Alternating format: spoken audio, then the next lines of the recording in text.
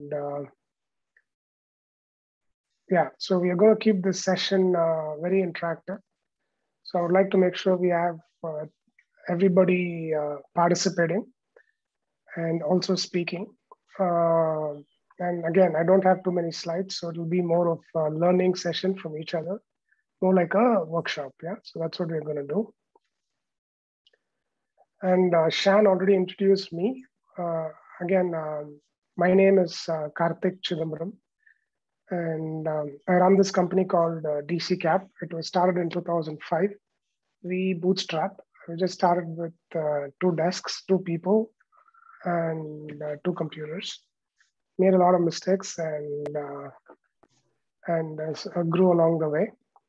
And like Shan mentioned, I love traveling, love reading, and also learning new things. Okay, and yeah, if you want to reach me, here's my contact. It's not that difficult to reach me. Yeah. Cool. So this is actually a podcast I just shared, uh, Masters of Scale. Uh, so did you guys uh, get a chance to listen to that podcast? How many of you listened to that podcast? Anybody? No, sir. Karthik, you didn't listen. Okay. Anybody else listen to it?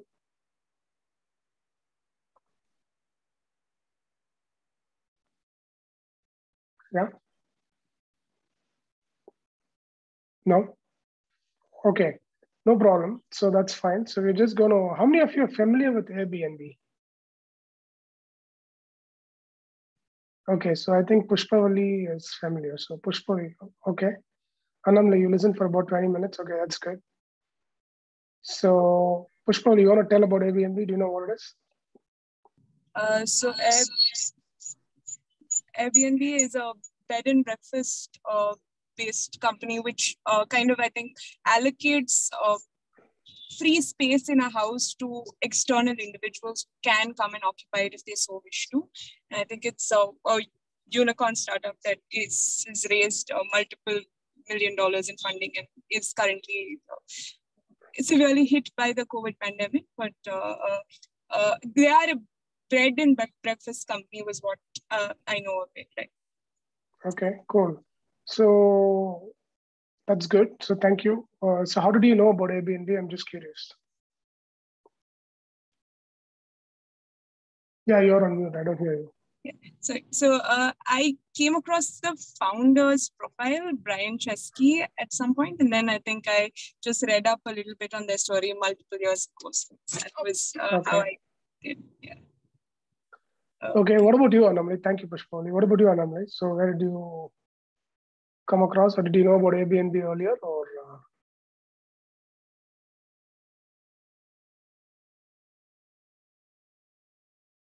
Yeah, you're on mute. Yeah, can you hear us? Yeah. I think you're on mute. Okay, anybody else uh, wants to talk about Airbnb?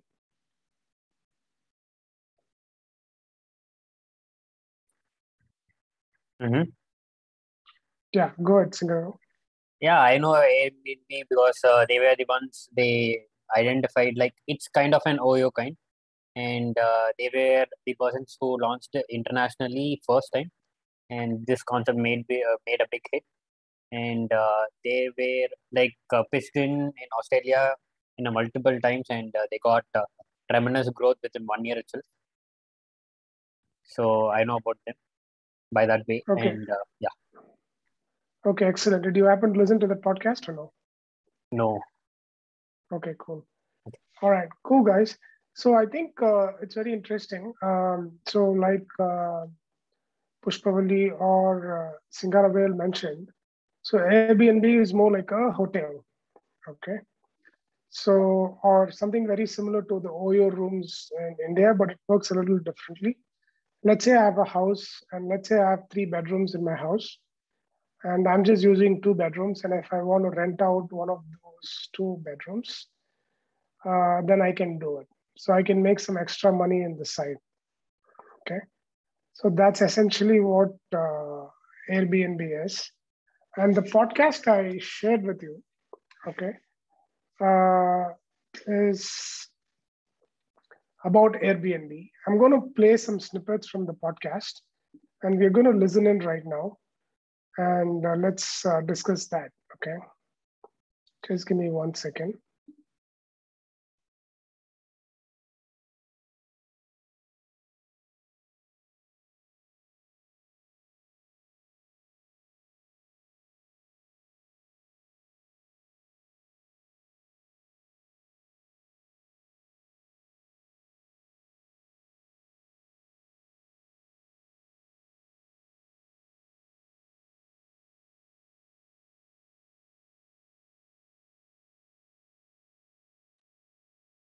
Okay, I'm going to play the audio so that all of you guys can listen to it. And then uh, let's uh, chat about it, okay? how you do it. Can you guys hear the audio? Are you able to hear it? Yes, sir. Okay, cool. Okay, cool. This is Masters of Scale. I'm Reid Hoffman, co founder of LinkedIn, partner at Greylock, and your host.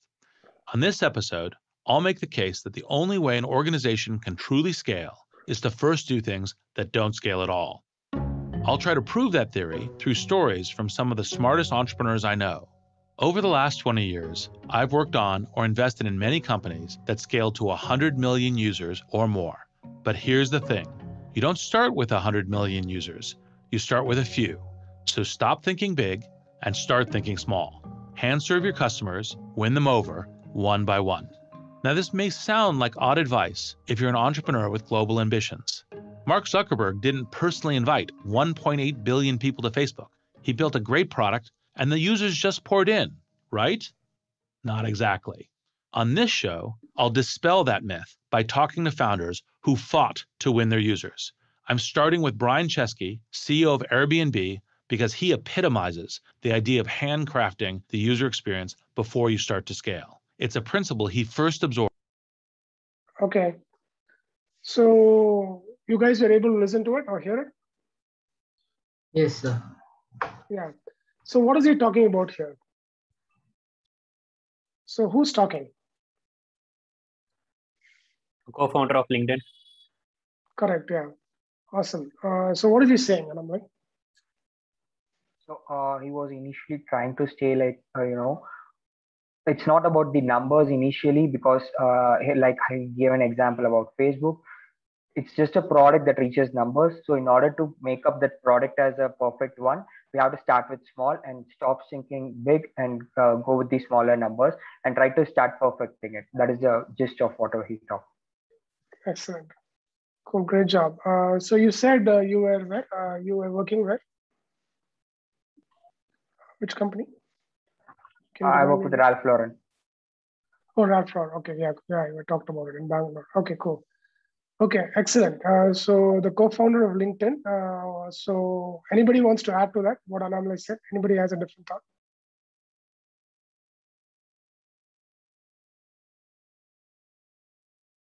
So what else is he saying?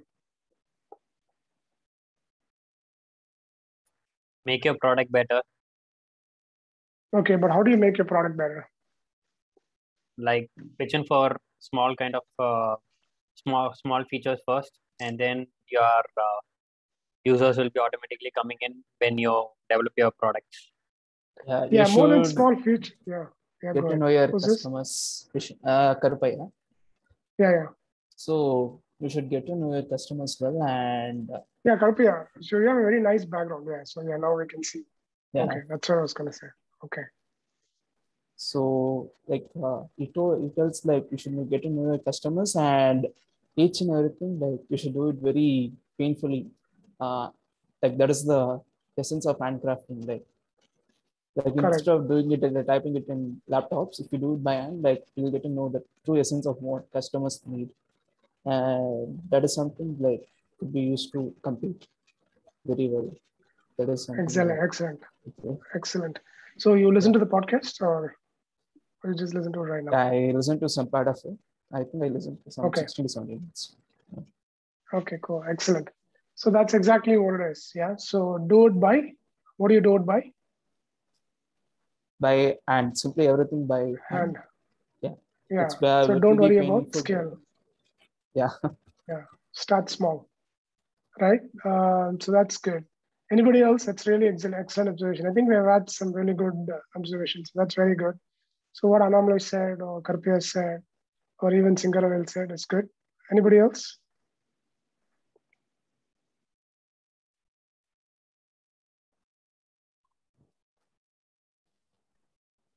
So who's he going to talk to?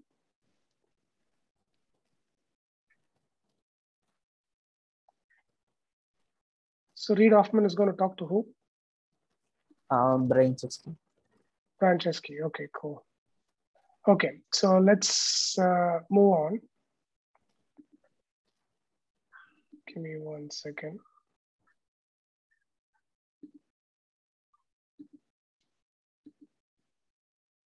Okay, listen to this. So what do you mean? He said, go to your users, get to know them, get your customers one by one. And I said, but that won't scale. If we're huge, we have millions of customers, we can't meet every customer. And he said, that's exactly why you should do it now, because this is the only time you'll ever be small enough that you can meet all your customers, get to know them, and make something directly for them. Brian and his co founders followed his advice to the letter. We literally commuted to New York from Mountain View. So we would be in Y Combinator for, uh, was it Tuesday night dinners? And then Wednesday, Joe and I would go to New York. We literally would knock on the doors of all of our hosts. And we had their addresses. And we say, knock, knock, hello, hey, this is Brian, Joe, we're founders. We just want to meet you. It's a little creepy just to knock on the door unannounced. We needed excuses to get in their home. So they came up with an offer that the host couldn't refuse. We'd send a professional photographer to your home and photograph your home. Of course, we didn't have any money and we couldn't employ photographers. So Joe and I, we'd show up at their door and they're like, wow, this company's pretty small. These home visits became Airbnb's secret weapon. It's how they learned what people loved. It's really hard to get even 10 people to love anything, but it's not hard if you spend a ton of time with them. So if I want to make something amazing, I just spend time with you. And I'm like, well, what if I did this? What if I did this? What if I did this? From those questions, a handcrafted experience is born. We'd find out, hey, I don't feel comfortable with a guest. I don't know who they are. Well, what if we added profiles? Great. Well, what do you want your profile? Well, I want a photo. Great. What else? I want to know where they work, where they went to school. Okay. So you add that stuff. And then you literally start designing touch point by touch point. The creation of the peer review system, customer support, all these things came from us literally. We didn't just meet our users, we live with them. And I used to joke that when you bought an iPhone, Steve Jobs didn't come sleep on your couch, but I did. Cool. So what is he talking about here?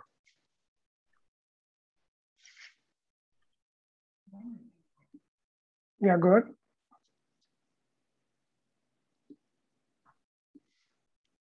Okay. So what are uh, they talking about? Yeah.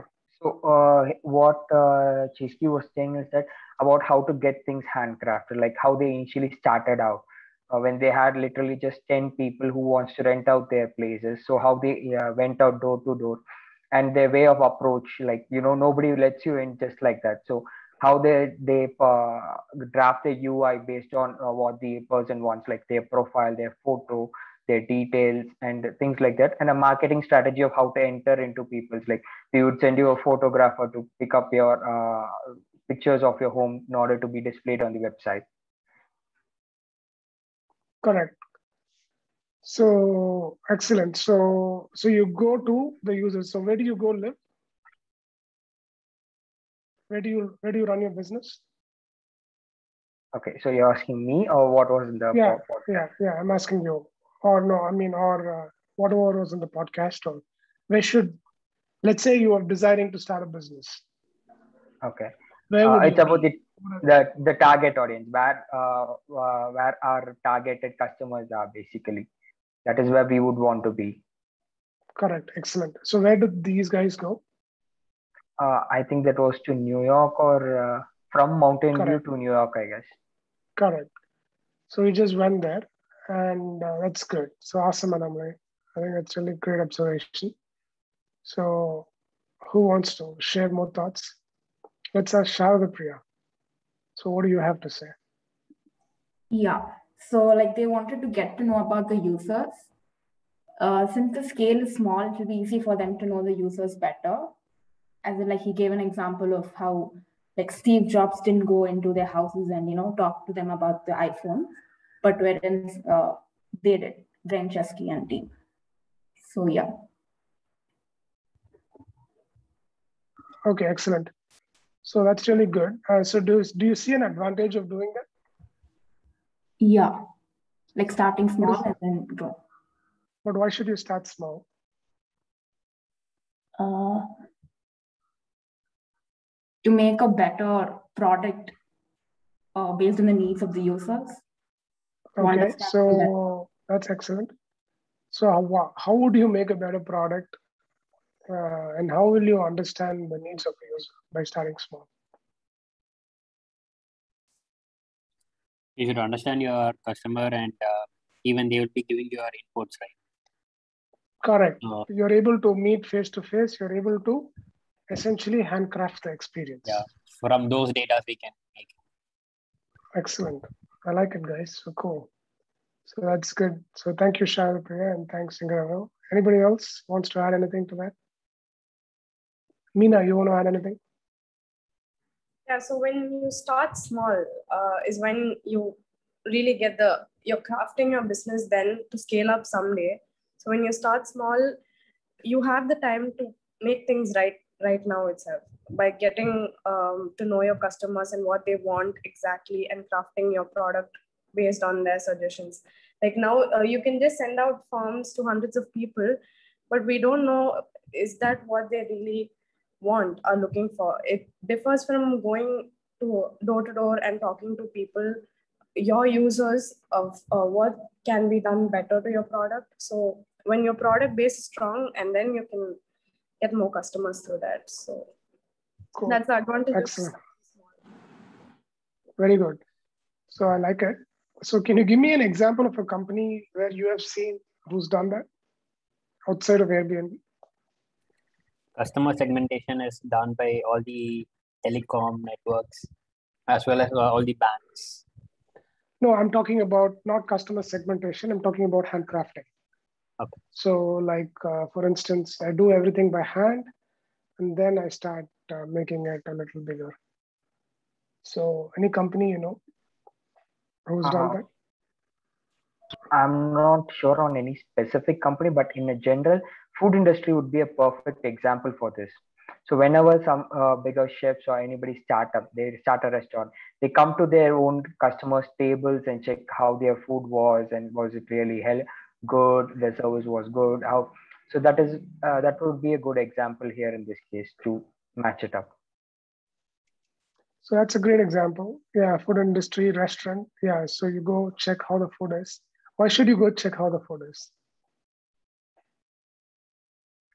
Uh, because there are two perspectives for everything. So one is from the chef's perspective. If you say like uh, they made it based on what they had in a mind, like uh, infusing of elements and things.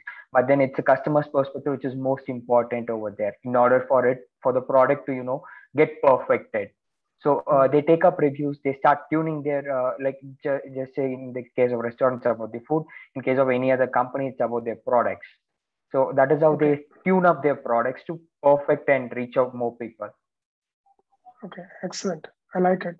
Anybody else has examples of any other companies who do that? WhatsApp. Which one? What? WhatsApp and other applications which they build very small and uh, automatically uh, they develop their products, they upgrade their products, and yeah, become, maybe WhatsApp handcrafted. I'm sure. Yeah. yeah. Amazon. So Meena Ramanathan, you want to talk a little more about it? I think that's actually a great example. Yeah, Amazon started out very small. Uh, he, I think, only three of them together started out the entire uh, thing only mm. for hmm. books, and then they slowly, gradually opened up for everything, as they mm. understood the market out there and how the world is going to completely get digitalized. So yeah, I it's a great Amazon, example. Yeah. So, do you know what Jeff Bezos did to handcraft? Can you give me one handcrafting story of Jeff Bezos? Um, you are right. I think Amazon is a great example. I mean, again, you know, it's like massive today. Yeah. But then uh, I'm not uh, exactly sure uh, if this is a handcrafting example, but then he took over many small companies uh, until Amazon became one. So there were many different uh, companies only for shoes, only for books, and uh, many other sectors separately. So he took over all of them as they were small and then finally made Amazon into one uh, huge sector where everything is available. Okay. So what do you guys think? What did Meena say? So is that handcrafting or that's not handcrafting? Uh, I don't think that's exactly what handcrafting means. It's about Correct. So- acquiring, acquiring business. Yeah. Correct. So that's acquisition. Yeah. So that's good. So I'm glad. Okay. Any other examples uh, in terms of uh, what Amazon did? Anybody knows like what Jeff Bezos did? Anybody read any stories or anybody? So he used to actually. Uh, so Amazon is all also also about shipping, correct? So you order online and they ship it. So what do you think Jeff Bezos did? He took the packages and where did he go?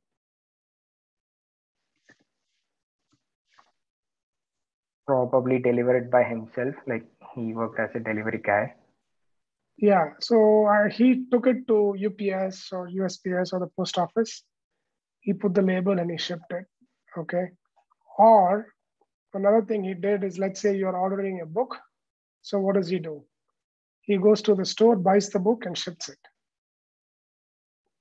That's a perfect example of handcrafting, but good job, Meena. So I think it's uh, really good. Okay. So cool. Let's uh, move on and I'll play a little more of the audio clip. Was there a particular experience that has really stuck in your mind? I remember we met with a couple hosts and it's winter. It's snowing outside and we're like in snow boots and we walk up to the apartment and we went there to photograph the homes. And we're like, "Hey, I'll upload your photos to the website. Um, do you have any other feedback?" And he comes back with a book. It's like a binder. And he's got like dozens of pages of notes. And he ends up creating like a product roadmap for us. Like we should have this, this, this, this, this. And we're like, oh my God, this is our roadmap because he's the customer. I think that always stuck in our mind as the roadmap often exists in the minds of the users you're designing things for. It is typical to get very detailed feedback from some of your early users. And if you're not getting some people who say, This is super important to me, I love this, I really need this to work well, it usually means you're off track. Passionate feedback is a clue that your product really matters to someone, and one passionate user can turn into many if you listen to them carefully. It's essential to get this kind of feedback early while you're still defining the product. It's like setting a foundation as an architect. You wouldn't build a skyscraper before you've built a solid foundation. User feedback ensures you won't build a dozen floors on an unstable swamp. Brian has a simple method for extracting detailed feedback from users. He doesn't ask about the product he already built, he asks about the product of their dreams. We'd ask these questions like, what could we do to surprise you? Like, what could we do, not to make this better, but to make you tell everyone about it? And that answer is different. If I say, what could I do to make this better? They'll say something small. If I were to say, Reid, what would it take for me to design something that you would literally tell every single person you've ever encountered? So you start to ask these questions, and it really helps you think through this problem. It's essential to seek out and listen to user feedback. But the caveat is you have to figure out which users to listen to. You're going to have different kinds. Okay. So what is he talking about here? There are a couple of things uh, which is being discussed. So what is he talking about here? Let's ask somebody.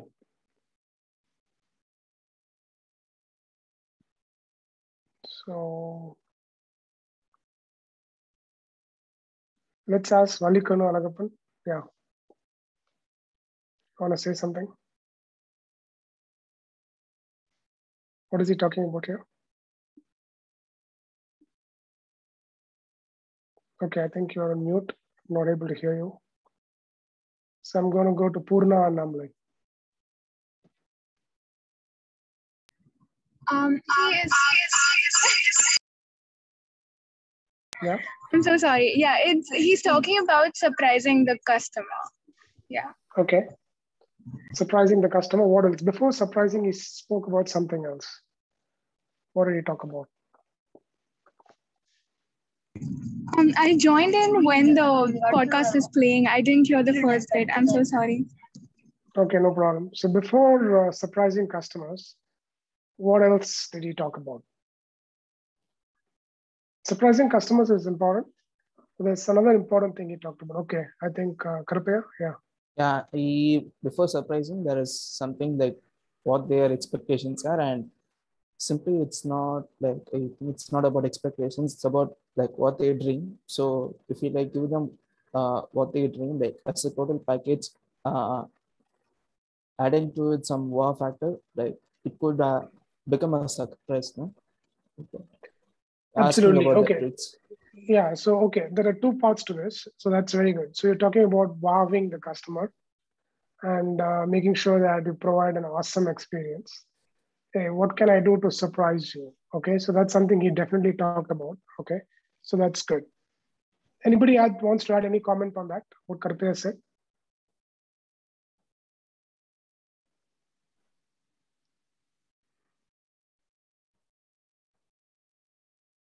Any comments?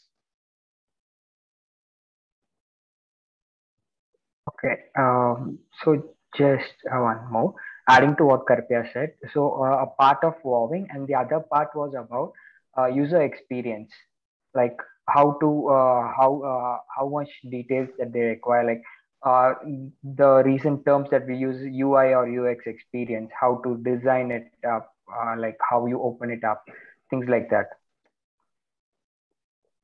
Okay, cool, excellent. So that's a good point. So how do you make the user experience better? So let's ask Meena. Meena Ravindran, yeah. So yeah, how do you make so the we make the better?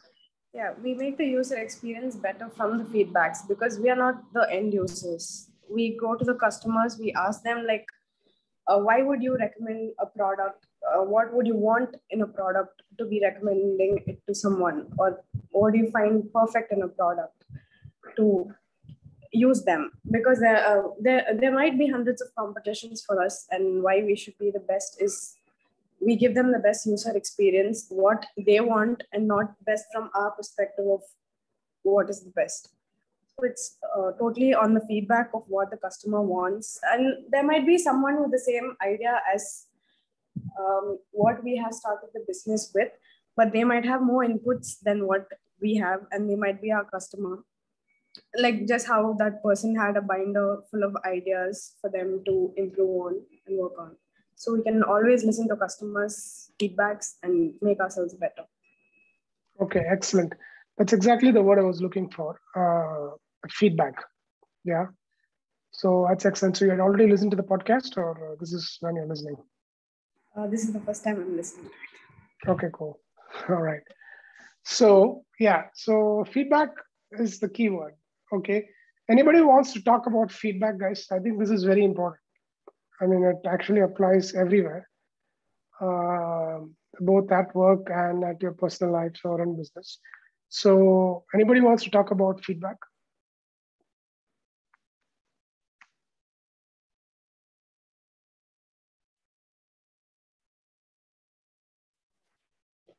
Yeah, we Yeah, like yeah, need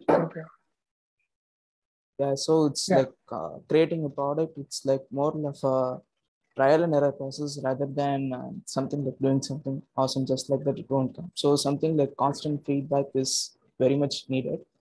Uh, in our architectural execution also, like each and every week we have a crit like wherein they'll be giving us feedback as to how to improve our product like that. So we uh, we carry it out like as a three to four month design process. Correct. So absolutely. No, I think that's a great example. feedback. And I think even uh, the architecture you talked about is a great example. So just listen to the user feedback. Okay. And you can learn from it. And if somebody gives you feedback, are you able to take it in a positive way or how is it? I'm just curious. Uh, for us, it's our professors. So they like like uh, like other normal teachers, they'll give it in more in a negative way. So we have to like process it a lot more, and it, ca- Mm. it uh, to be frank, it will be like very anxious and all. But Mm. coming to the normal customer, it's uh, it's a layman, normal layman. So Mm. it will be more. We'll take it in a more positive way. Actually, we can solve it more in a better Do way. you take every feedback given or uh, do you pick and choose? We should pick and choose. Excellent. Yeah. Cool. That's very good. Yeah. And I think he also talks about that in the podcast a little later. Okay. Anybody else wants to add anything on the feedback?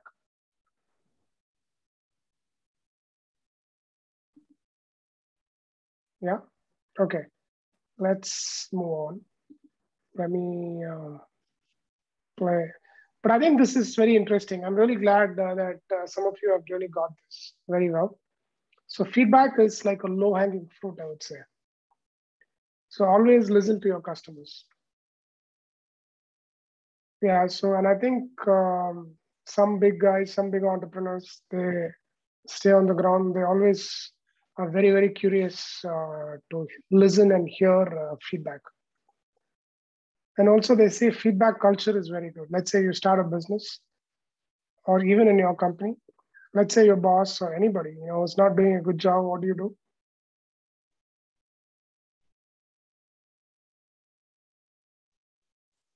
You give them feedback.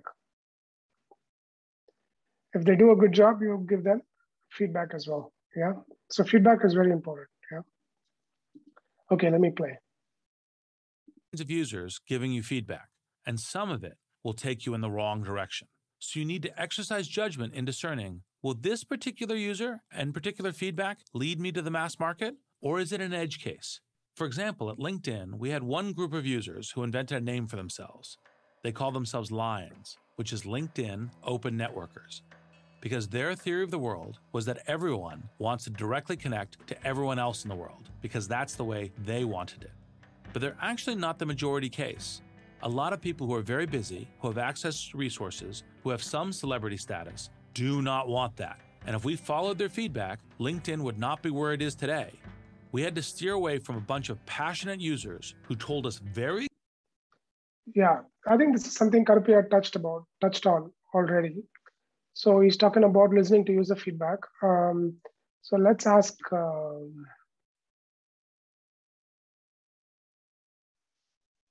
I think it's Nina Ramanathan. Yeah. So what did? Oh, what is that? You want to add anything here?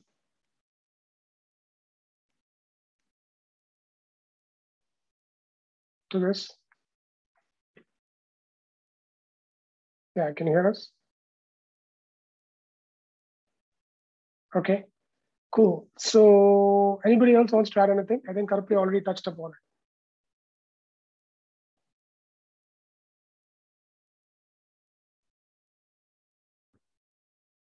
May I? Yeah, yeah, go ahead, Uma. Yeah. So you might have a future vision on how to direct your business. So if a particular review is not going to align you to that path, it might you might as well not take that review into account. So that will not lead you to where you want to go further. Correct. So what do you do? So what Uh, should we, you do? so we just take into account those reviews will uh, which will actually make us better and bring out more better quality to the customers and provide more better service to the customers and in in turn it will enhance our service to them Okay, excellent. I agree. So yeah, so you just uh, do what is uh, what works for you. You don't have to take everything, and whatever is good for your business, you just take it. Yeah. Can you guys give me an example of any company you know who takes feedback in a very positive way and implements? Lazada.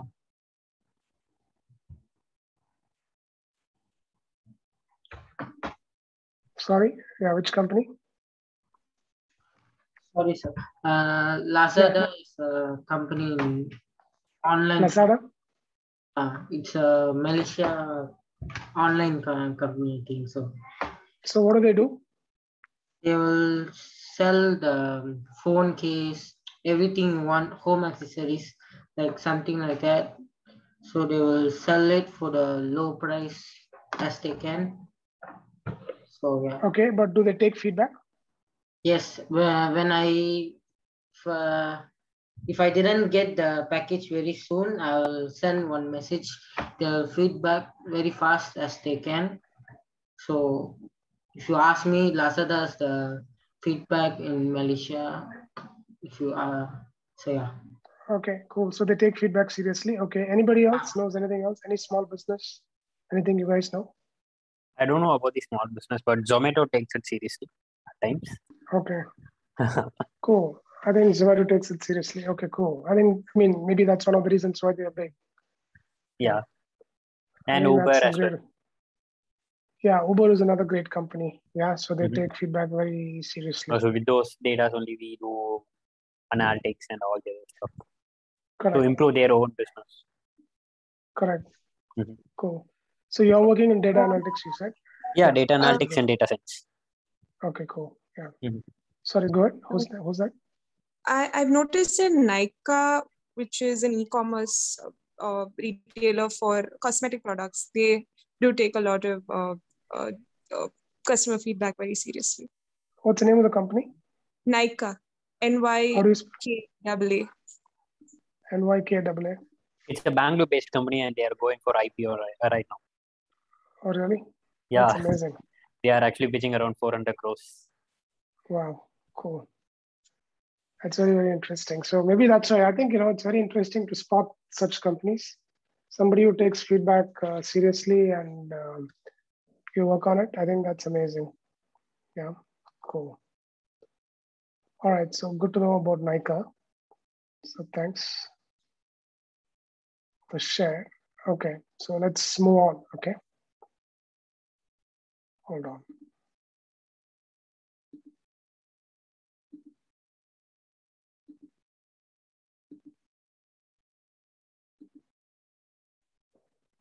Brian decide on the doable thing. He s-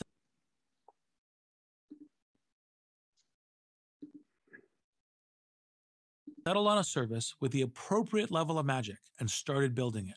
And here's the next thing to notice they didn't launch perfectly scaled services, they built everything by hand. we had a saying that you would do everything by hand till it's painful. So Joe and I would photograph homes till it's painful. Then we got a photographers. Then we'd manage them with spreadsheets till it's painful. Then we got an intern. I don't think I knew how anything would grow to the level that it did. That's Ellie Thiel. She's the intern who managed those spreadsheets. She still works at Airbnb. Very manually, I would email the photographer and the host and connect them, and the photographer would then send me the photos. Um, I would go through each one, giving feedback if they needed to be retouched, and then I would manually upload them to the host's website, their listing, one by one. It would take hours to upload. Multitasking was the name of the game. And then we would automate the tools to make her more efficient. And we kind of looked at this and we said, okay, what is the easiest thing that we can automate? Any little thing that changed was, you know, quite a shift in what I had been doing, but for the better.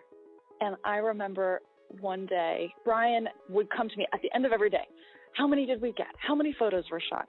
And it was like, oh gosh, I have to go through and count all of these. And then eventually a system does everything. We build a system where now a, a host comes, they press a button, it alerts our system, which goes to a dispatch of photographers. It's all managed through technology. They get the job, they mark it through an app that we build, and then payment happens. The whole thing is automated now. Note how they gradually worked out a solution. They didn't guess at what users wanted, they reacted to what users asked for. And then they met the demand through a piecemeal process. And here we come to the true art of doing things that don't scale. It's not just a crude way of succeeding on a shoestring budget. Okay, excellent. So, what about Sharada? What do you think? You have any thoughts here? Uh, so they're talking about how they started everything uh, by hand and how they created an app later. So the step-by-step process and how they came out. Excellent. So, what exactly are they doing? They're doing things by hand. And then what are they doing again? Like they're doing things by hand, like you know, clicking pictures, uploading it in websites, and then counting them at the end of the day. But later, like reacting uh, to the what the users want, like they built a system, an app, so that they themselves could do what they were doing before. Excellent. So, and then they shift to automation. Yeah. So that's excellent. Um, cool. So anybody wants to add to that? That's actually a great observation. So you do things by hand and then you just move it to automation, to systems. Yeah. Naga, you want to add anything? Naga Kaila?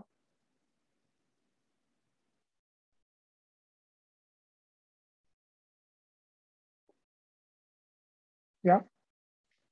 What about Mahesh Nachiappan? You want to add anything? I just noticed a point that uh, they actually uh, did not give what users wanted, but mm. they gave what uh, they asked for, but but in their own way. In the company's thought process. So they gave what they asked for in their own way.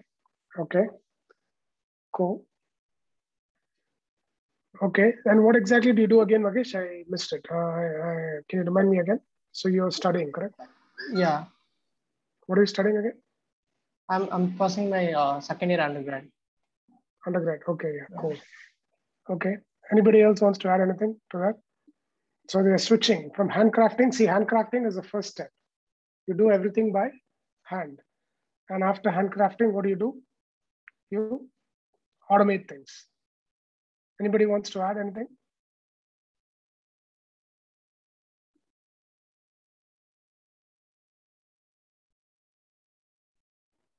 Do you guys agree uh, with this approach? Yeah, go ahead. Yeah. So uh, it just indicates that something uh, started as a handcraft, but then depending on the expansion and the market things, so obviously how they transition to the automation. So uh, handcraft is important, but handcraft is not that is always can be applied everywhere. Excellent. No, absolutely. So that's just the starting point, and then you just uh, move on. Okay. Cool, excellent. So let me just play another piece. Hold on. Okay. Listen to this. Build the features that users really want. I've seen this handcrafting story play out over and over again with entrepreneurs. Take my friend Patrick Collison.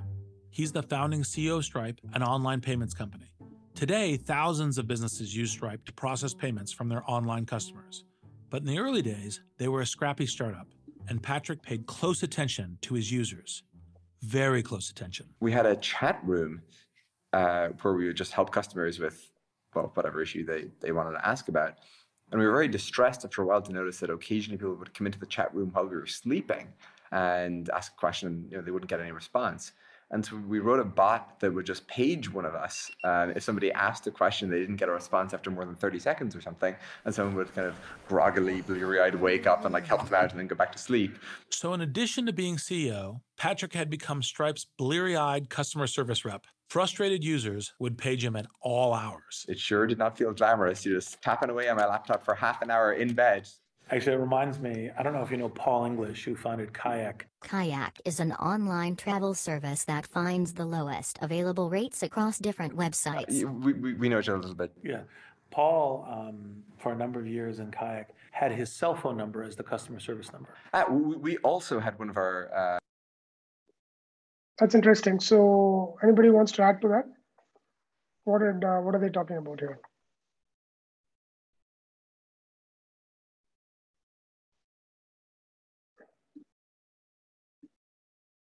So they're talking about customer support. Yeah. So Uma, you want to add anything?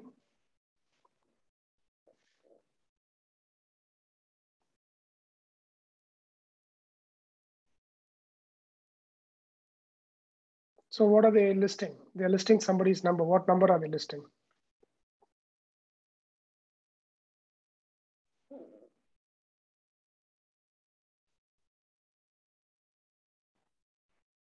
So it was yeah, Patrick's own cell phone number, I guess. Excellent. So why are they listing the cell phone number? For customer support program. So whenever they had a query or they wanted to reach out regarding any problems about the product or uh, such cases. Absolutely. So I think that's actually a great thing to do. Would you agree? Anybody knows any businesses who do that, where they just list the phone number and you call and you call the owner?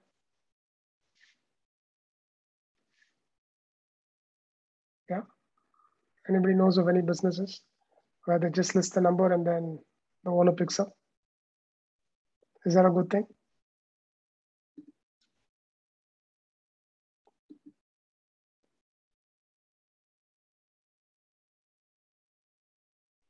Yeah. So Pushpal, you want to say something?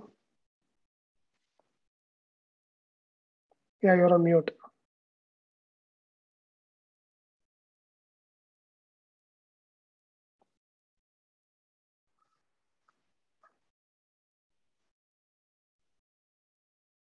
Yeah, can you hear us? Okay, I'll let you figure out your mic. Okay, Karpi, you want to add anything to this?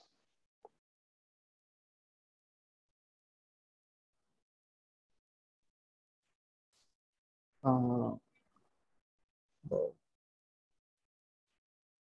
in terms of listing the phone number and everything.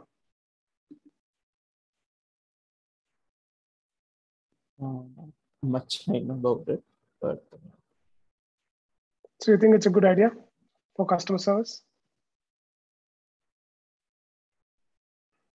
uh, yeah, I think it's better if they know the numbers because uh, if the same customer uh, uh, calls again,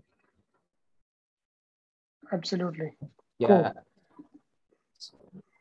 If, Okay, uh, if they cool. come up, we can actually like yeah, earmark that customer that is going to come up with this kind of complaints. So we could directly solve that out. Okay, cool. All right, so let's listen to the last piece of this audio and then we can move on. Hold on, okay? The handcrafted work. Here's a surprising message for entrepreneurs who have only a handful of users to serve.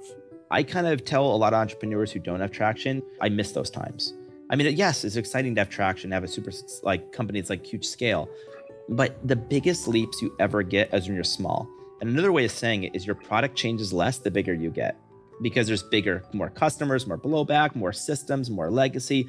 The most innovative leaps you'll ever make, often, especially for your network, are going to be when you're really, really small. You can change the product entirely in a week. Try doing that at LinkedIn or Airbnb today. That'd be a huge disaster. So I think taking advantage of that subscale, designing the perfect experience, asking yourself what you could do is amazing. And if you have a teeny startup, I have good news for you. Now is the moment you can take the most daring leaps of your career. Dream big and act small. Pay passionate attention to your users. Handcraft the core service for them. Create a magical experience. And then figure out what part of that magical handcrafted thing can. What do you guys, what do you think, guys? So that was the last piece of this podcast. So anybody wants to add any comments?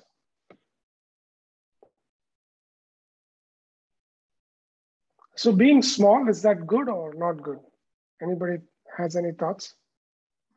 Yeah, so when you're small, when you start up small and uh, you have a product in your hand, you go to the customers and get their feedbacks. When you're small, only you're designing your actual product to scale up with all the feedbacks that you get from your customers. When you're finally done uh, designing your product, it, it might be a boring product too, but with the customers' feedbacks, it might get better and it might reach to a lot of people. So when you're small, it's very important that that stage is very important because you're designing your business, you're designing your product, you're designing everything. So that's what he, even he said.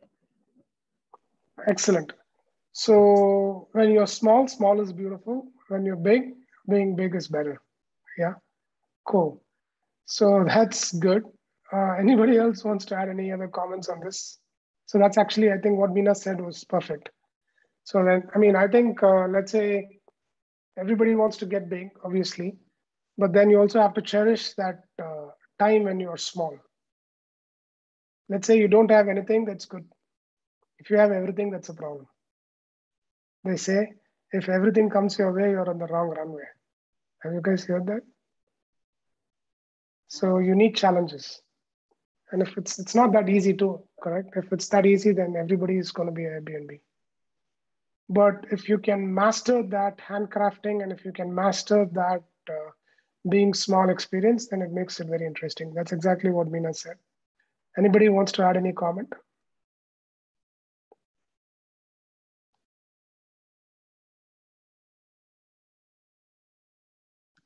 So Anamla, you want to add anything?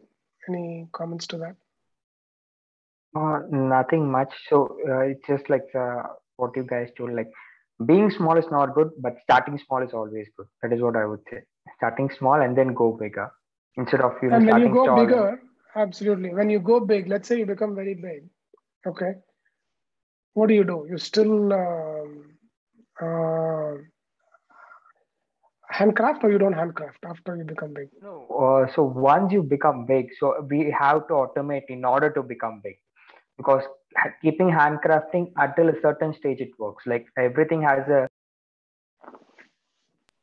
everything has its own uh, expiry date. Like even the process or the strategy that we do, it has uh, uh, it has a limited period of time which it works beyond that we have to evolve based on the uh, you know the project of the product reach and everything so obviously going big handcrafting is not a good option anybody disagrees with anamli oh, sorry anamli yes handcrafting is not always about the smallest things and going and looking into the details and doing it by yourself.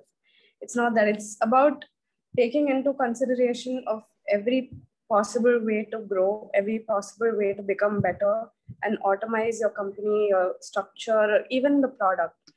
So it, it's a, a very huge process. It's not always about, when you're small, it's definitely smaller, but when you're scaling up, it's in a bigger stage. So it's. No, but when you scaled up, let's say you handcrafted and you become big, yeah. would you still handcraft or would you not handcraft anymore? I would still hand, handcraft the things that I still have to handcraft. The, like there'll always be more things that you have to take care of and handcraft it. Correct. No, how you grow excellent. Up. So yeah, so uh, Anamli, I think that's something. Yeah, sorry, go ahead. Yeah. That's what I think. I I gave a separate different impression. Like basically, I meant terms of handcrafted, like CEO going on the ground and working. What I meant.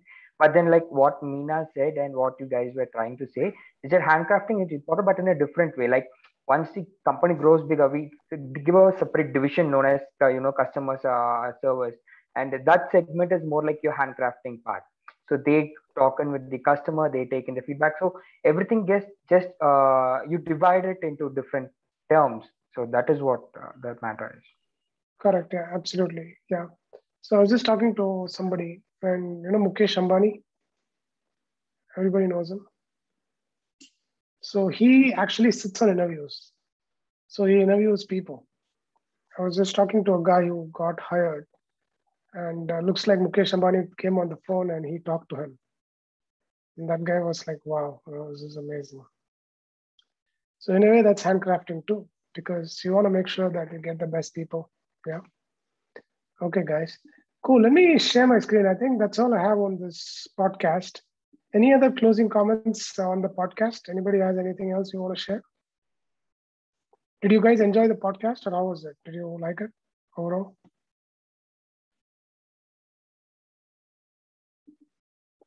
Okay. Cool. Okay. So let me share my screen. Just a couple of slides. You guys can see my screen. What do you guys see? uh, the podcast, this uh, podcast okay, cool. slide. So let's move on. So anybody knows who this is? Let's mm. ask. Sorry? Einstein. Einstein? Okay, excellent. So good. I'm glad you know Einstein. So uh, Einstein has said a lot of things and he's invented a lot of things. But he said something which is very relevant to all of us and uh, let's see what he said. Anybody wants to take any guess? No, sir. No? What does vaddi mean? Vaddi. Vaddi. Uh, I think Einstein did mention about how compounding interest is the eighth wonder of the world. So, I correct. Yeah. That's right. Let's look at what Einstein said. Can you see my screen? Yes, sir. What does it say? Can one of you read it? Compound interest is the eighth wonder of the world. Compound interest is the most powerful force in the universe. Yeah. Cool. Anybody wants to add about this? Anybody has any thoughts, any stories, any personal stories you want to share? No, sir. I don't know anything personal. Okay, what about okay? What about other people? So why is compound interest the seventh or eighth wonder of the world or the most powerful force? I think a few people here are working, correct? So Anamle is working, Singaravel is working, I think Meena is also working. Anybody else is working? How many of you make money here? A little bit or do some part-time job, okay? So what do you do with the money? I'm just curious actually. Invest on yourself. Invest what? Invest on yourself. Oh, you like, invest on yourself. That's like good. you go for uh, like do some courses. Okay. Uh, cool. Okay, that's very good. So let's talk about compound interest. I think a lot of our ancestors they practiced it very well. Uh, looks like. So why is that? You know, what do you think? Anybody wants to add anything about compound interest? So let's say you have uh, 1 lakh rupees, okay? 1 lakh. How long would it take for it to become 2 lakhs? Let's say I give you 1 lakh, you know, I mean, not me. Let's say you have 1 lakh. Would you like it to become 2 lakhs or you don't want it to become 2 lakhs? Or you want it to become 50,000? What do you like? Sharada Priya, what do you like? Uh, to increase to 2 lakhs. 2 lakhs? Okay, what about that two, do you want to increase it to four? Yeah. That four, you want to increase to eight? Yeah, yes. And eight, you want to increase to 16? Yes. Okay, when will that happen? How long does that take? Do you know? I mean, like if we have it just like that, it's going to remain as one lakh only. Only if we invest in it, I think it will increase. Okay, let's say you invest in it. Okay, and you so I think everybody understands what Vadi is and what a compound interest is. Okay. So anybody has any questions there or you guys are clear? So you're clear? So Anvita, you know, understand? You understand what uh, Vadi and compound interest and all this? Oh, actually, Vadi I'm familiar, but compound interest I don't know. It's the same thing. Oh, okay. Okay, cool. So, okay, now let's let's understand the math behind it, okay? So anybody knows exactly, okay, I'm giving you one lakh and the money is compounding at 10% interest a year. 10% annual compounded a year. When will it become 2 lakhs? Who knows the answer? Any math geeks here?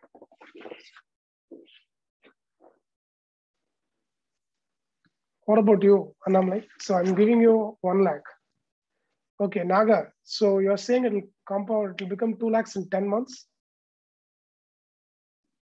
How can it become two lakhs in 10 months? Because it's compounding at 10% every year. So let's say I give you one lakh. If it's compounding at 10% a year, interest is 10%, how much the money will be in one year? One lakh ten thousand. Excellent. Okay, so good job. So one lakh ten thousand. So that one lakh ten thousand is again compounding at another 10% the next year. How much will the money be? 122. One? 22. 22. Okay, yeah. good. So my question is, when will it become 2 lakhs? How many years will it take? Seven years. Maybe you can, huh? Seven years. Okay, how did you come up with that number? Uh, basically, we I will be reducing the big picture. So I'll be taking as 10, 11, hmm. 10, then next year will be 11. Then it will turn to uh, 12 and it will be compounding to uh, 13.33 and it will be going to 14.44 likewise. And it takes hmm. around 7 to 7.5 years. Uh, okay, maybe you're like a math uh, genius. Okay, good. Okay, so I would like to learn from you. Okay, but I think his answer is correct. Uh, so we have to give it to him. Good job. So 2 lakhs will become in seven years or approximately 7.2. But then when that 2 lakhs will become 4 lakhs.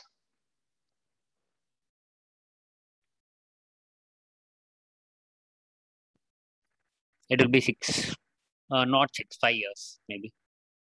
Oh, that Well, once you- become uh, once you increase in your principal once you increase your principal amount automatically uh, the uh, interest also gains in a way where uh, in a higher amount No, the principal is not is two lakhs. No, after seven years it becomes two lakhs. yeah from 2 lakhs only you're just asking or uh, Yeah, from two lakhs. okay From two lakhs, how long does it take to become four lakhs? Let's say I have two lakhs today. So how long will it take to become four lakhs?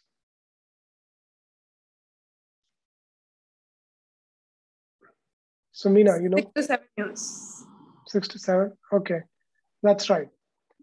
Okay, guys. Um, I think Singaravel did some really good math. Okay, I really enjoyed this. Actually, again, I didn't know about this before. I just got to know about this uh, a little earlier, but it's very, very interesting. Let me share my screen. Anybody familiar with the rule of 72? yes Yeah.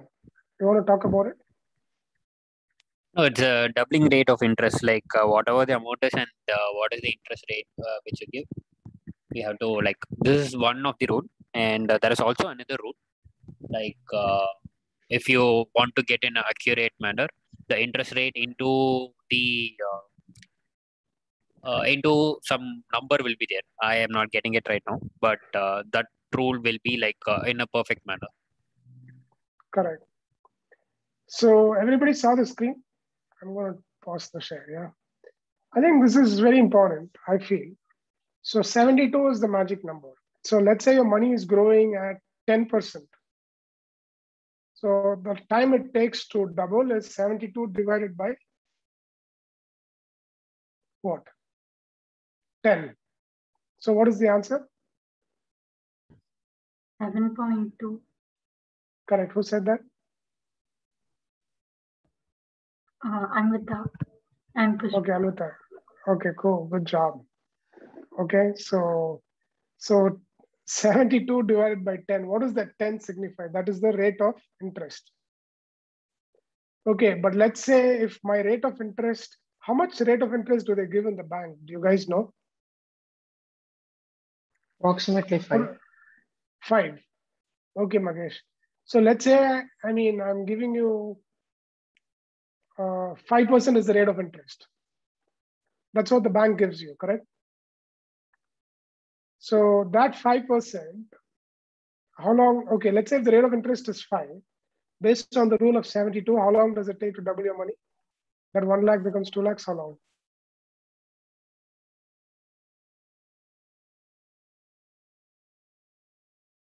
Eighteen years.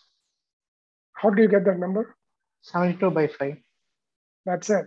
So it takes 18 years. So you see how much that 5% uh, difference makes? Yeah. So, and if it's, let's say 9% is the rate of interest, how long does it take? Eight years. That's it. You guys like this math? It's actually a Khan Academy video. So I also included that link uh, in the session. So if you guys uh, have time, you should definitely watch that. I thought it was really, really interesting. Okay. Okay, cool. So, I mean, I think for people who are working or uh, whatever, how many of you have a habit of saving your money? Okay, Annamalai does. Okay, Pushpavali also does. Anybody else? Meena, you don't save money. Singaravel does. Okay, Karthik does. Okay. Okay, let's ask Pushpavali. So you save. So what do you do with the saved money? Uh, at the moment, I do invest in certain equity stocks and a couple of mutual funds as well. That's amazing. Okay, cool. So invest in equity stocks and mutual funds. So you pick your own stocks and uh, you pick your own mutual funds, or how is it? Uh, so initially, I used to look at external advice, talk to people who are in that space, and then invest. But right now, I'm Hmm. trying to learn a little bit of how uh, one can do our own research, like fundamental technical analysis, a little bit, and then read a little bit about the company as well. And I try to. I uh, not always worked, but I think it's a little bit of trial and error. Yeah. So you made a lot of money that way. Uh, would like to make more. Okay, cool. That's awesome. You always need more. That's cool. And uh, since when have you been investing? I'm just curious. Uh, I bought my first stock when I was 16, and now I'm 22. So Okay, so you've been investing since you were 16. yeah, so I used to invest in my parents' account until I was uh, 18, and then post that I've been investing myself. I wish I'd really done that, you know, when I was 16 years old.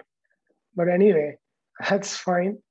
So what about, uh, I think, you know, so time is the essence. I think, you know, you have started really, really uh, early. So that's awesome. What about you, Annamalai? What do you do with the money or how do you save?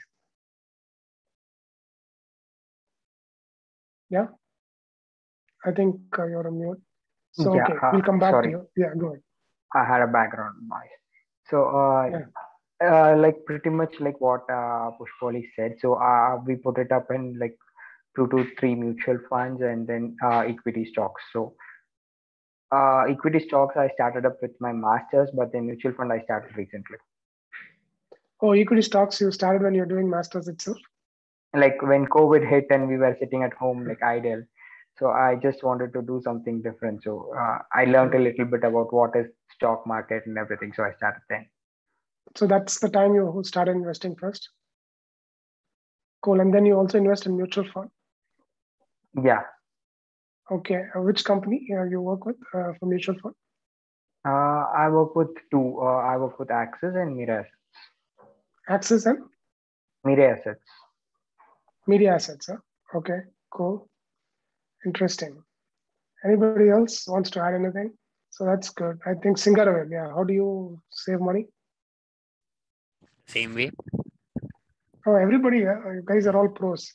No, So no, you also like uh, my father does with Goldman Sachs. Okay. So by that way, I give give it to him and uh, he does it. So you pick and choose, or uh, he picks for you? He picks for me because I'm not familiar with these stocks. Or you're not? So he picks for you. Yeah. Okay. Cool. What about you, Karupaya? Do you invest, or do you save, or you still working, or still studying? I'm still studying and I don't invest, but yeah, uh, usually I don't spend so much money. So I think that would be counted as saving. So you don't spend money. Yeah, not much. Only That's very good, actually. Yeah, I also like not to spend money. I like to only sell, you know. that's good, actually. I think being frugal, I think that's actually something which we can definitely learn a lot from our ancestors in a way. Right? You'll not know who's a big person, who's a small person. So Yeah, it's really, really amazing. Yeah. So they'll be very, Yeah. very ordinary. And then then they'll be really, really big. Yeah. yeah, it So needs to be like will be bet uh, optimum. Yeah. We call it frugal. spend a lot of resources. Yeah. Correct. How many of you like to be frugal? I'm just curious. Everybody knows what frugal is? Frugal?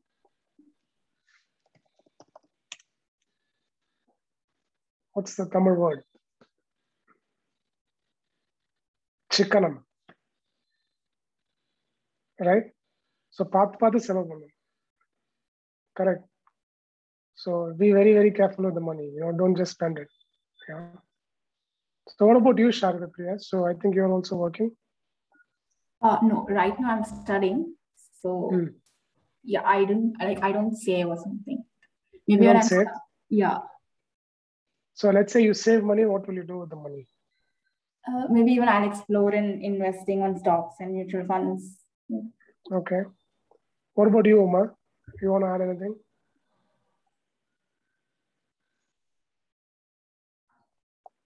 I've just not explored many saving options yet, Hmm. but I'm eager to. Okay, cool. All right, that's what we're going to talk about next. Again, I'm not a stock expert and I don't know a lot, but uh, let's talk about uh, this a little bit. So, what is this? Can you guys read it? Nifty 50. Yeah, what does Nifty 50 mean? Do you know? It's a equity stock. Yeah, it's, It's equity an stock. It's an index. Index. Who said that? Uh, myself, Mahesh. Magesh. Okay, excellent. So, uh, are you familiar with Nifty 50 or have you invested? Yeah, yeah. Okay. So, why should you invest in Nifty 50? Oh, you have invested in Nifty 50, you're saying? Yes, I uh, from my parents' account. Okay, cool, excellent. So why? So what's the difference between? I think Annamalai, you said you invest in mutual funds, correct? Okay. Yeah. Uh, so with Axis Bank. Yeah. Okay. Who told you to invest in mutual fund? Uh, it was actually one of my uncles who advised about mutual fund. Okay, cool. I think it's good. Okay. And uh, what about uh, Pushpavali? You also invested in mutual fund, you said? Yes, it's just a couple years. Okay. So anybody advised you or recommended you, or you just picked the mutual fund yourself?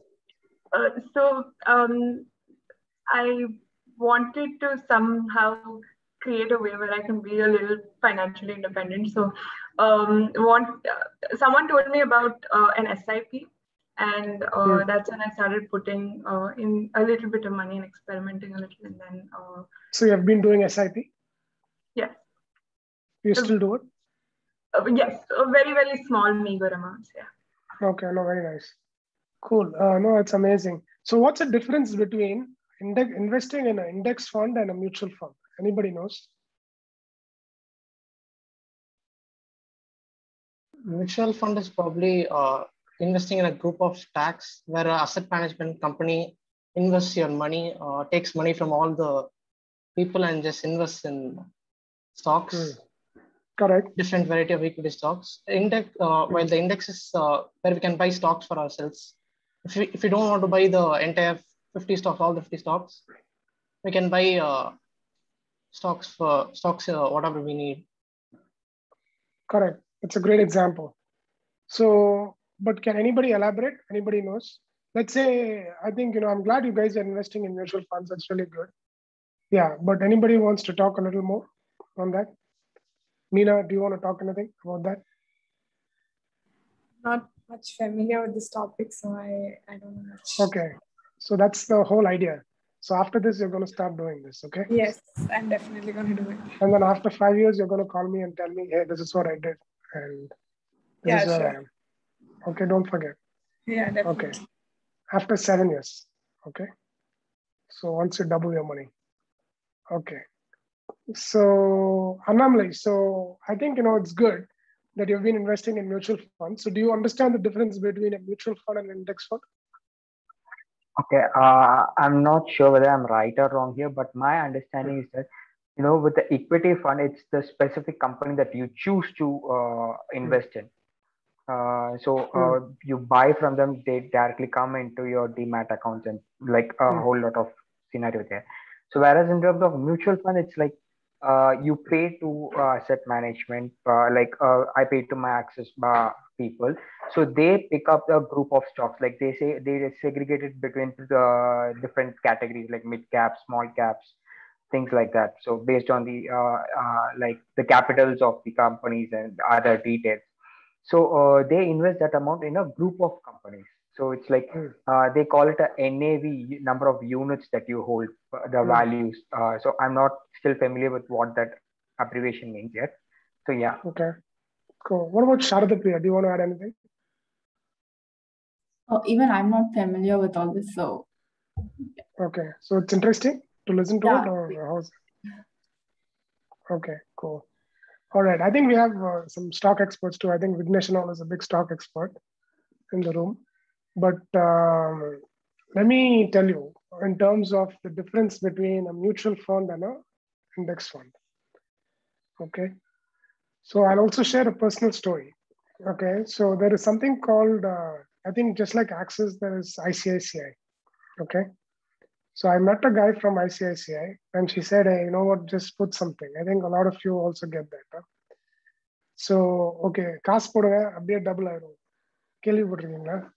Right so they தெரியும் இந்தாங்க தம்பி காசு போடுங்க. நீங்க எதுவுமே பண்ண வேணாம். நீங்க மாசம் மாசம் இல்லை. நான் ஐ டிட் பை வருஷத்துக்கு ரெண்டு வாட்டி போட்டேன். ஓகே ஸோ லெட்ஸ் அசியூம் நான் ஒரு ஒன் லேக் போட்டேன்னு வச்சுங்க ஃபார் எக்ஸாம்பிள் அந்த ஒன் லேக் வந்து அஞ்சு வருஷத்துக்கு அஞ்சு லட்சம் போடுறேன். Okay one lakh every year okay five இயர்ஸில் நான் எவ்வளோ போட்டிருப்பேன்? ஃபைவ் லேக்ஸ் அப்போ எனக்கு என்ன சொன்னாங்க அவங்க? ப்ராப்ளி எயிட் ஆர் டென் இயர்ஸ்க்கு அப்புறம் they said then give me ten or something அந்த டேக்ஸ் ஃப்ரீ அப்படின்னு சொன்னாங்க. ஓகே ஸோ கேட்குறதுக்கு நல்லா இருக்கா? எப்படி இருக்கு? இட்ஸ் குட் நீங்கள் கேள்விப்பட்டிருக்கீங்களா இந்த மாதிரி? ரைட் ஸோ நிறைய பேர் கேள்விப்பட்டிருப்பீங்க. ஓகே ஸோ நான் வந்து சரி நான் ஆக்சுவலாக அகேன் நான் ரொம்ப யோசிக்கல. நான் அப்போ வந்து இண்டெக்ஸ் ஃபண்டுனாவும் என்னன்னு தெரியாது. நான் மியூச்சுவல் ஃபண்ட் சரி நான் வந்து இங்கே இருந்தேன். சரி ஒருத்தன் கேட்டாங்க தெரிஞ்சவங்க கேட்டாங்கன்றதுனால சரின்னு சொல்லிட்டு போட்டுட்டேன். Okay so let's a first year போட்டேன். அதுக்கப்புறம் செகண்ட் இயரும் போட்டேன். நான் ஆக்சுவலாக போட்டுட்டு நம்ம பார்க்க மாட்டோம்ல. என்னென்ன செலவு அது எப்படின்றது நம்ம ஜென்ரலாக நிறைய பேர் நீங்கள் பார்ப்பீங்க maybe if your already investing then your same but நான் வந்து very ignorant I didn't know any thing so நான் பாட்டு போட்டுட்டு சரி எல்லாம் பக்காவாயிரும் அப்படின்னு சொல்லிட்டு விட்டேன். கடைசியில் பார்த்தீங்கன்னா நான் அஃப்கோர்ஸ் ரெண்டு லட்சம்ன்றது ஒரு ஒன்று எழுபது ஒன்று எண்பது ஆயிடுச்சு ரெண்டு வருஷம் கழிச்சு. Okay but again the whole thing is நீங்க டு வெயிட் பத்து வருஷம் வெயிட் பண்ணணும். அப்பதான் அவங்க சொல்றது கிடைக்கும். பட் படம் நீங்க ரெண்டு லட்சம் போட்டு உங்களுக்கு ஒன்று லட்சம் எழுபதாயிரம் ஆயிடுச்சுன்னா பயங்கர டென்ஷன் ஆகும். மொத்தம் நம்ம right so I got really upset okay அப்புறம் என்னாச்சு? ஐ சேட் ஓகே என்ன பண்ணலாம்? அப்படின்னு சொல்லிட்டு எதனால ஒரு லட்சம் எழுபது நான் போட்ட ரெண்டு லட்சம் எப்படி ஒரு லட்சத்தி எழுபதாயிரம் ஆச்சு அப்படின்னு சொல்லிட்டு ஐ வாஸ் திங்கிங் அப்புறம் தான் அவங்க கொடுத்த ஃபார்ம் எல்லாம் கொஞ்சம் படிக்க ஆரம்பிச்சேன். ஓகே ஃபர்ஸ்ட் ஃபர்ஸ்ட் சைன் போட்டோம்ல. அதுக்கப்புறம் did some research so one thing I found out okay இப்போ நான் ஒரு லட்சம் போடுறேன்ல.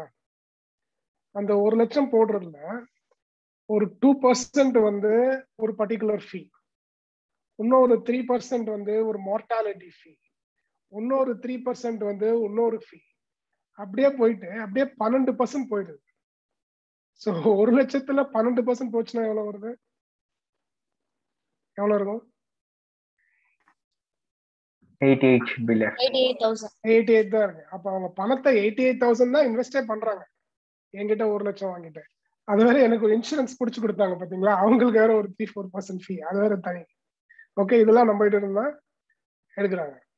ஓகே ஸோ அப்ப நான் என்ன பண்ணேன் நான் again I decided okay I don't want to continue it I cancelled it and that's what I did okay but the thing is the fees இருக்குல்ல that is when uh, I understood that, let's say, when you invest on something like this, like the money managers, okay, so they take a fee.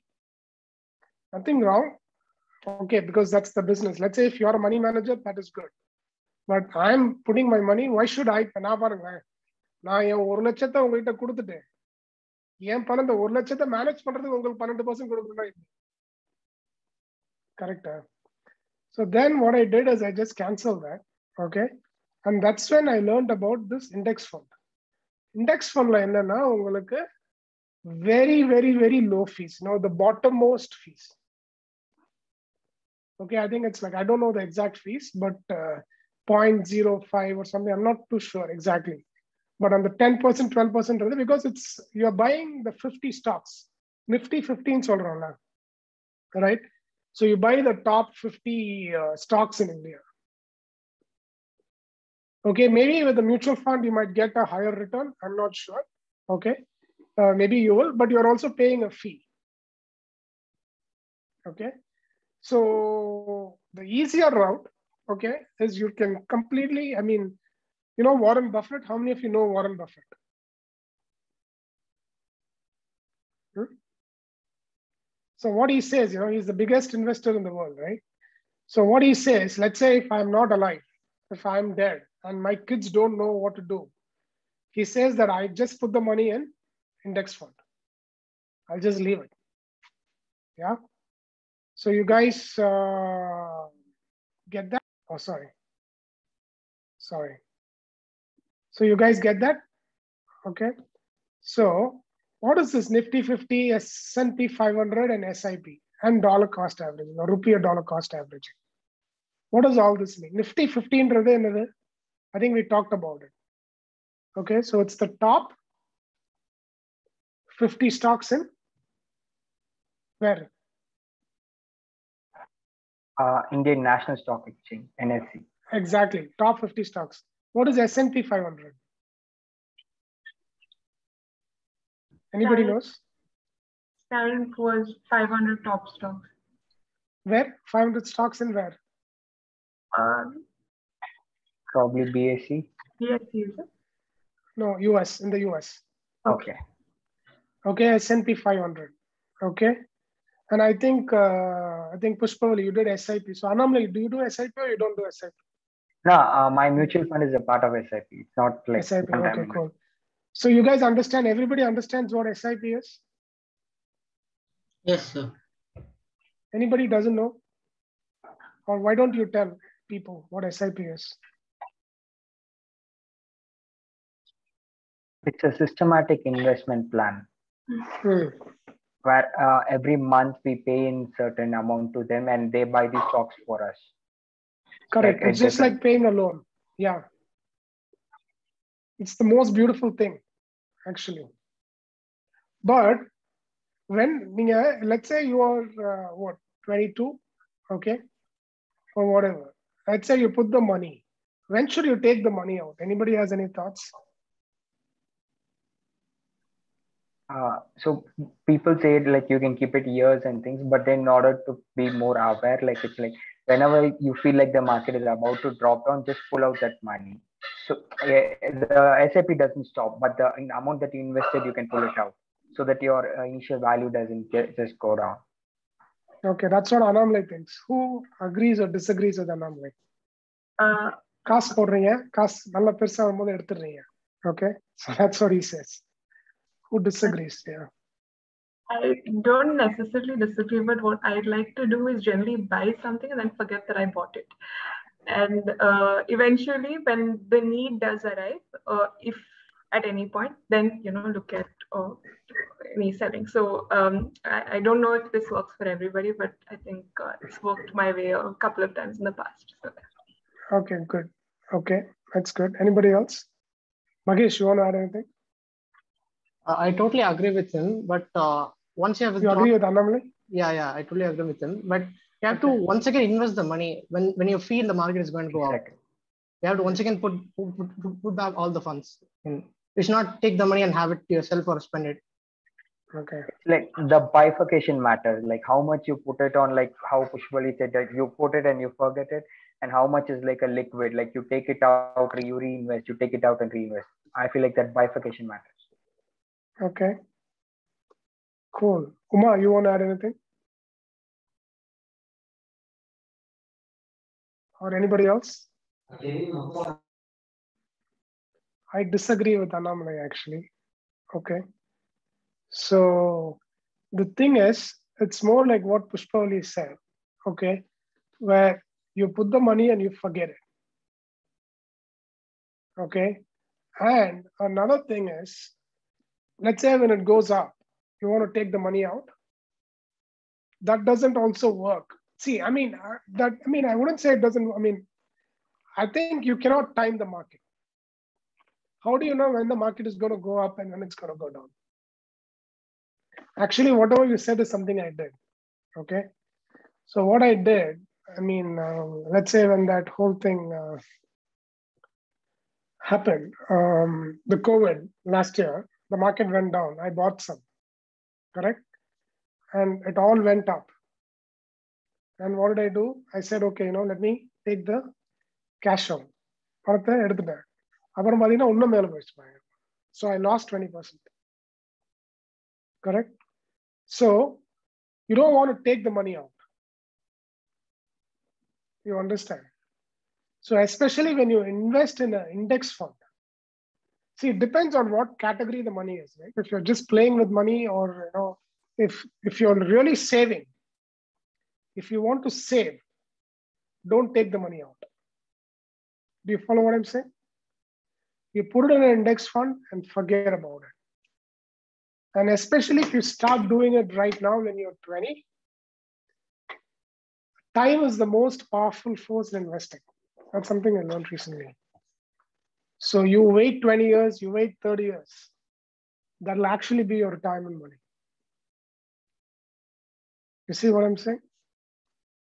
maybe it's not uh, easy. I mean, I think if if I look back, let's say if I were to do something, that's what I would do. So I try not to take the money out. Yeah? You just put the money and just forget it. And index fund is better. Generally, I like index fund. I don't do anything on uh, mutual, at least not yet.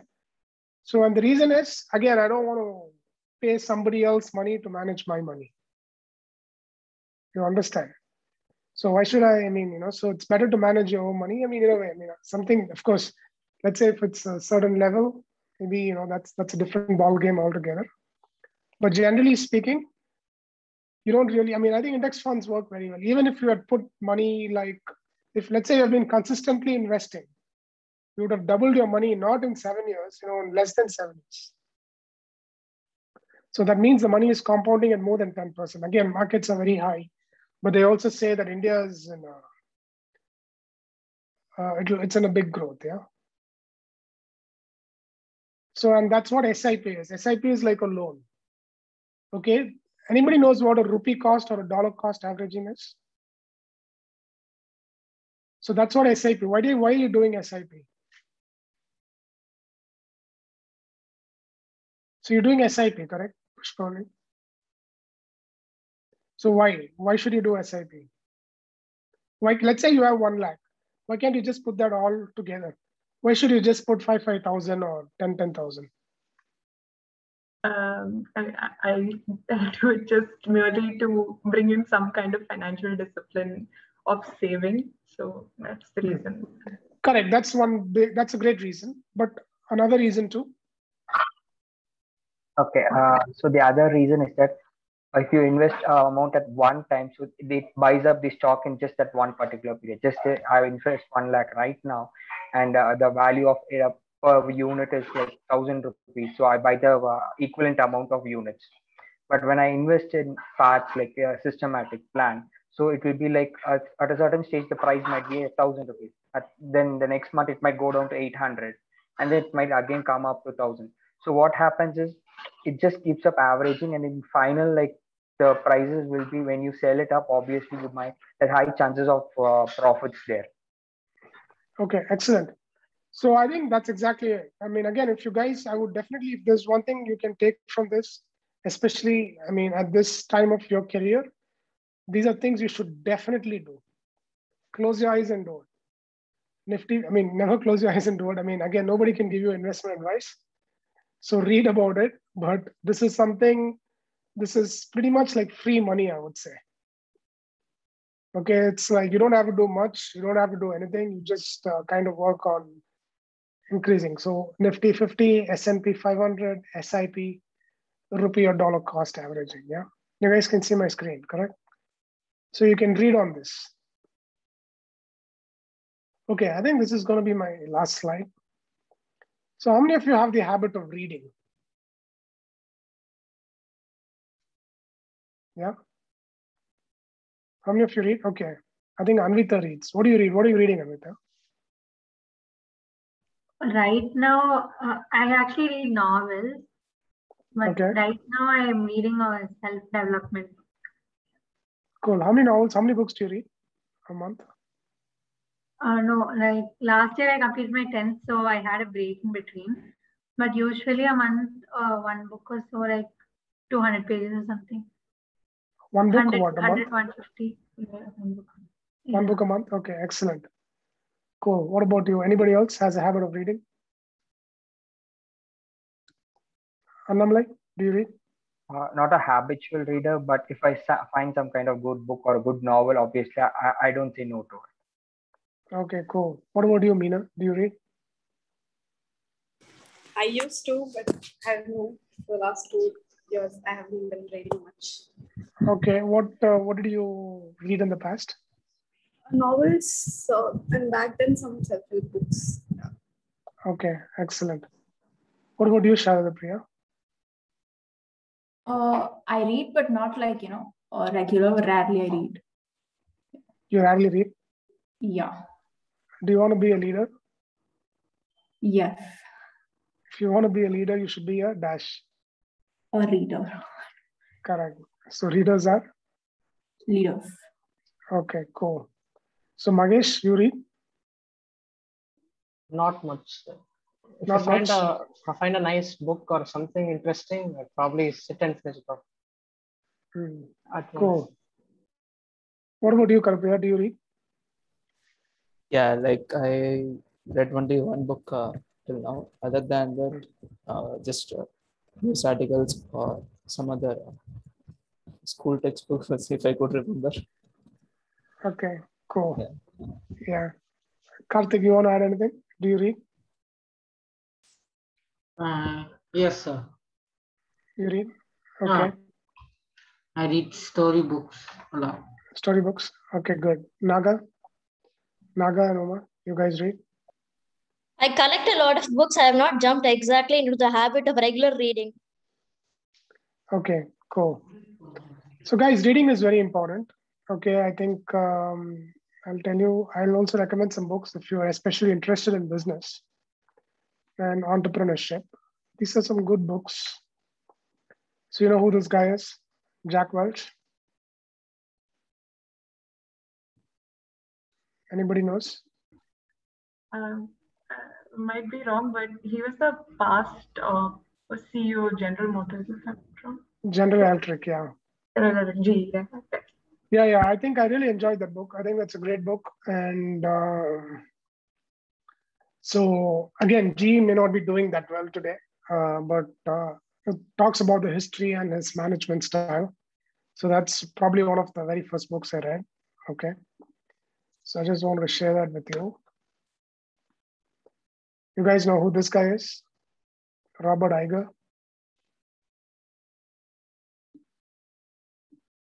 How many of you like Disney?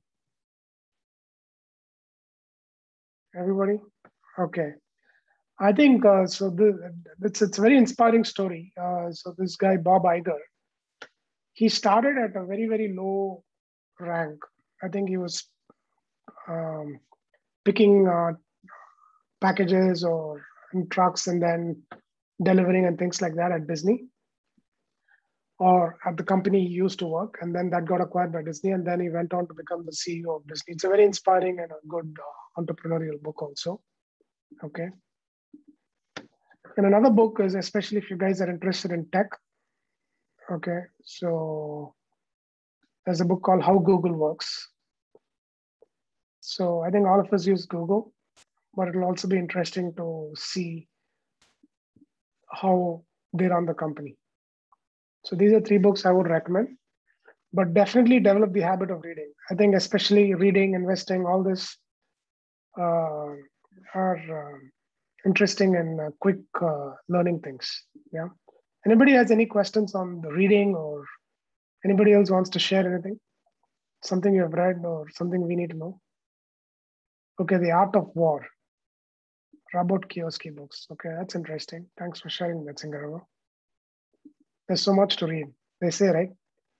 கற்றது கையளவு அல்லாது தொழ- உலகளவு. Yeah, it's very true, actually. I don't know. There's so much to read and so much to learn, but uh, yeah. So pick the right ones which you think will actually help your career and uh, make that happen. Okay. A book that I recently read, which I think would be a great read for a lot of us, uh, would be uh, Shoe Dog by Phil Knight, the founder of Nike. And I think it's a very honest and very, um uh, very, uh, very grounding memoir of his entire life. So um, yeah, I think, and it is a product-driven company, and since I think a few of us are in that space, it might be of uh, of help. Yeah. Absolutely. Uh, yeah, what do you do, Pushpali, again? What do you do? I said, you said you work at where? Or you're studying still? Uh, yeah, currently I'm just preparing for my GRE. GRE, yeah, yeah, yeah. Okay, cool. Yeah, I think that's a great book. I've actually read that book, um, Shoe Dog by uh, the Nike founder. I mean, it's very interesting. Uh, like you said, it's very, uh, he started uh, in a very, very humble background. But then it's very interesting. Nike is a big brand today, but actually they started trading shoes. They bought shoes, I think, from Japan or uh, something like that, and then they shipped it to US.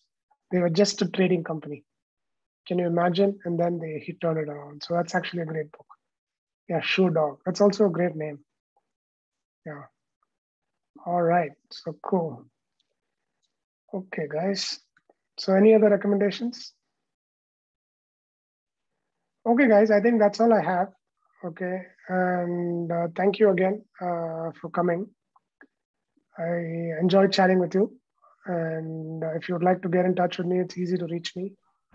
I'm on Facebook and you can send me an email or you can even visit my blog, karthikchidambaram.com.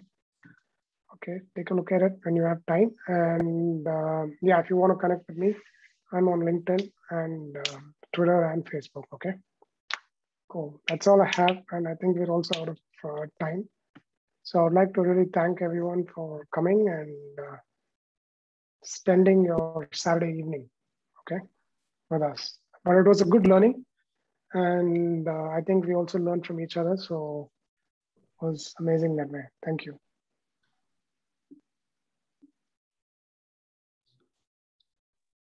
Thank you. Thank you. It was a great. Uh, thank you, Karthik. I will ask uh, formally to give thanking speech by Vignesh. Yeah, thank you. Thank you, Anna. Uh, Karthik, it was a very uh, interactive and an enterprising session because for uh, our children, you made them very comfortable to talk to you. They were very, uh, you know, uh, comfortable chatting with you and understanding things from you. So thanks for doing this for us. It's a very odd time for you in the US, I believe. So yeah, thanks for coming on on board and doing this for the kids. Uh, appreciate it totally. And I also thank all the who participated in, the, in this uh, interactive session. Hope you guys, uh, you know, got something out of this. And uh, if there's any questions, further questions, I I'm sure Karthik will pick them up offline. Um, so you can still keep in touch with him, and whenever you have any questions or doubts, you can always reach out to him. And uh, I'm sure he'll be uh, more than happy to help you out, help you guys go through your journey in your career. Uh, that's it from us. Uh, there's any, uh, I just sent a video link on the chat. Uh, that's about savings and how how important savings are. we were talking about investments, right? I just wanted to just request you guys to see that video, which is about how do you you know build a savings for yourself so savings is the first part of an investment process right so uh, i wish you can you know save from an early age because this the age that you are in right now is a, a correct age to start saving and then comes the, the investment part so apart from that and the books side of it um, there's a book uh, called rich dad poor dad which is very useful for all the you know from the investing point of view you understand how you make your money work for yourself. You you have your career, you make money, and then your money should all also work for you. Uh, so that's that's one book which teaches you that. That's very basic, so it's a good read. Uh, so I just wanted to just uh, throw that in as well. So once again, thanks uh, Karthik, and thanks for doing this for us. Thank you, Karthik. All right. Thank you, guys. Good thank you, Karthik. Yeah. Thank you. Thank you. Yeah, all. thank you, Anand. Thank you so much. Yeah. Bye.